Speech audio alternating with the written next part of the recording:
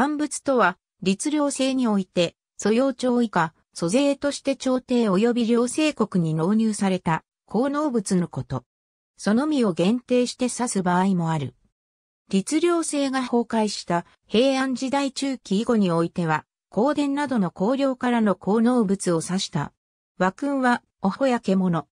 本来は地税である伝祖を指して、乾物と呼んだと考えられているが、律令制以後には、素養帳をはじめとする効能物や水庫、小税などのその運用、集積物を含めて乾物と呼ばれるようになった。こうした乾物の代表物として燃料薄月米、燃料総薄月米、燃料別の祖国、燃料別密偽雑物、燃料雑器、公益雑物、雑器などが挙げられる。素養調整の崩壊に伴って人頭税的なよう、蝶は徴収されなくなり、代わって伝祖と自姉妹からなる地税的な乾物と人頭税的な名残を残した雑液に修練していくことになる。さらに雑液も次第に地税化していくことになる。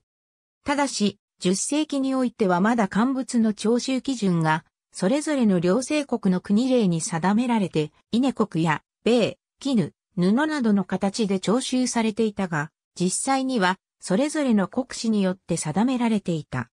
だが、そのために国例に定められた負荷を上回る乾物が徴収されることになる。これを乾物課長と呼び、それによって徴収された米を課長米と呼んだ。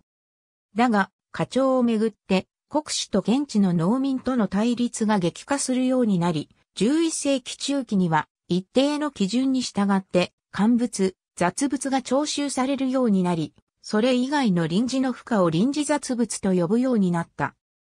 12世紀に入ると既存の乾物立法に代わって、国画領の香典のみならず、荘園の年貢に対しても一国平均役、御家人役などの形で控訴が付加されるようになり、これらの負荷による効能物に対しても、乾物という言葉が用いられるようになり、南北朝時代の頃まで、この故障が用いられた。平田工事によると、単別に素に当たる電素が1.5束、水庫離島が1.5束、立島1.2束、立分過長物1.3束の計5.5束が基準であり、徴用は諸島領伝と定めた他に対し乾物に相当する量を収めさせたものである。ありがとうございます。